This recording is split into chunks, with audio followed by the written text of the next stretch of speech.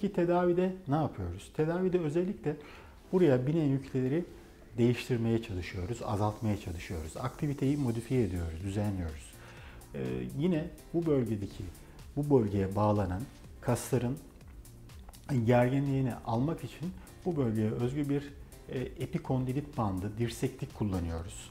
E, bu ağrıyan bölgeden yaklaşık 3 parmak aşağıda bağlanacak şekilde bunu dirseğe takıyoruz.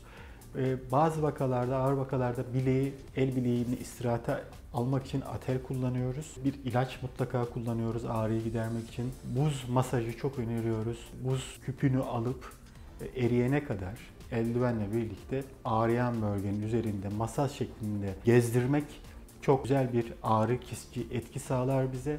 Onun dışında egzersiz, egzersizde ne yapıyoruz peki?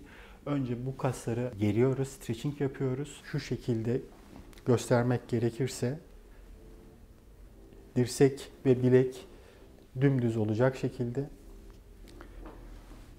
aşağı doğru yaklaşık 10 saniye gergin tutup sonra rahatlıyoruz. Biraz birkaç saniye dinlendikten sonra bunu aklınıza geldikçe günde 4-5 set, her sette 12-13 tekrar yaparsanız germiş olursunuz. Daha sonra da bu kasları güçlendirme egzersizi yaparak bir program dahilinde güçlendirirseniz ağrıdan çoğu zaman ağrı rahatlıyor.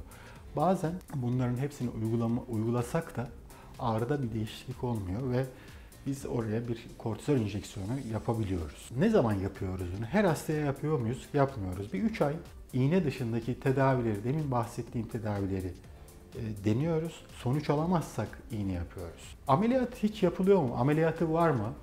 Ameliyatı var. Güzel sonuçlarını aldığımız bir ameliyatı var. Ancak en az 9-12 ay, yaklaşık 1 yıl bekliyoruz. Ameliyat dışı yöntemlerle.